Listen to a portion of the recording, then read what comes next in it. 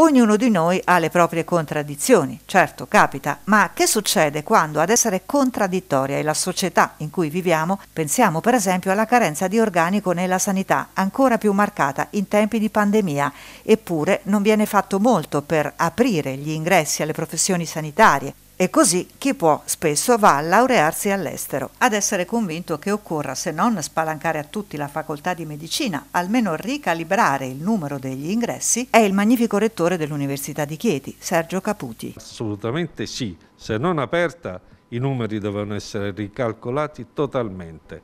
Io non sono d'accordo per i medici, per gli odontoiatri, per le professioni sanitarie con la carenza che c'è oggi. Francamente io devo dire che sono assolutamente contrario a un numero chiuso così stretto. E per chi ha avuto la fortuna di entrarci, quando è prevista la ripresa delle lezioni in presenza? Abbiamo deciso che le lezioni si potranno riprendere in presenza dal primo febbraio. Lo studente che si è organizzato per seguire a distanza può rimanere a distanza, fare sia lezioni che esami che tesi.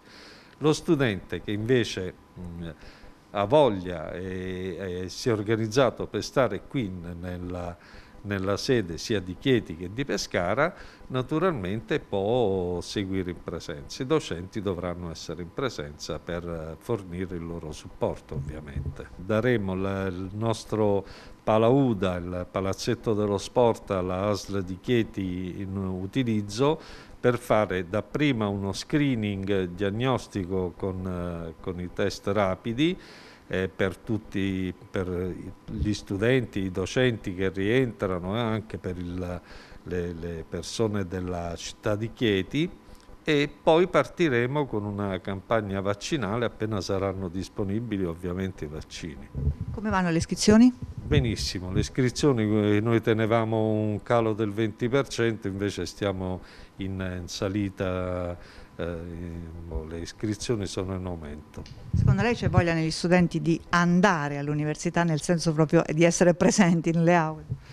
Guardi, eh, io credo di sì. Molti studenti mi scrivono perché vogliono rientrare all'università, avere la possibilità di seguire la, la docenza in diretta, ma io le devo dire anche come docente, perché oltre ad essere un rettore io faccio il docente e per certe volte, guardi, parlare davanti a un computer mi fa sentire veramente male.